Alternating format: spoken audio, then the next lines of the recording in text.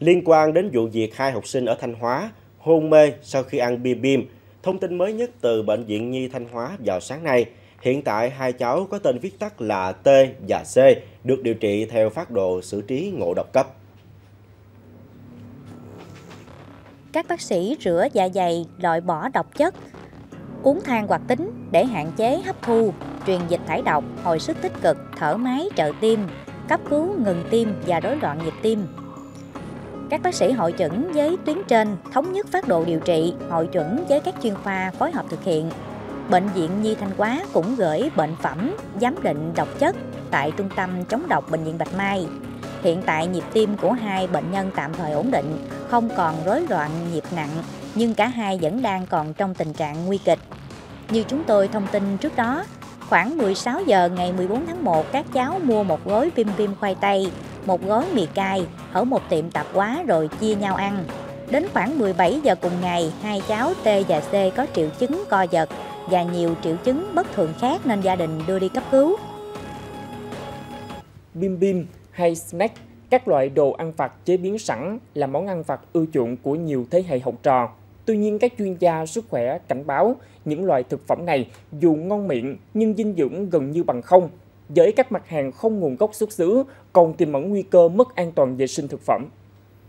Theo Cục Quản lý Môi trường Y tế, Bộ Y tế, một số tỉnh thành thời gian qua xảy ra tình trạng ô nhiễm không khí có nguy cơ gây ảnh hưởng đến sức khỏe của người dân. Ô nhiễm không khí làm tăng nguy cơ mắc các bệnh viêm đường hô hấp cấp, viêm phổi tắc nghẽn mãn tính, hen suyễn, bệnh tim mạch, đột quỵ và ung thư. Cục Quản lý Môi trường khuyến cáo có thể xem xét cho học sinh tiểu học, mầm non nghỉ nếu chỉ số chất lượng không khí ở mức nguy hại trong thời gian 3 ngày liên tục. Theo Cục Quản lý Môi trường Y tế, chất lượng không khí và mức độ ảnh hưởng đến sức khỏe con người được đánh giá bằng chỉ số chất lượng không khí IQI. Chỉ số IQI được tính theo thang điểm tương ứng với biểu tượng và các màu sắc để cảnh báo chất lượng không khí và mức độ ảnh hưởng tới sức khỏe con người. Khi chỉ số chất lượng không khí ở mức nguy hại AQI ở mức 301 đến 500, Bộ Y tế khuyến cáo đối với người bình thường tránh các hoạt động ngoài trời, chuyển sang các hoạt động trong nhà hoặc chuyển sang ngày khác khi chỉ số chất lượng không khí tốt hơn. Đóng cửa sổ, cửa ra vào nhà để hạn chế tránh tiếp xúc với các chất ô nhiễm. Đối với những người nhạy cảm, tránh tất cả các hoạt động ngoài trời, chuyển sang các hoạt động trong nhà, đóng cửa sổ, cửa ra vào nhà để hạn chế, tránh tiếp xúc với các chất ô nhiễm.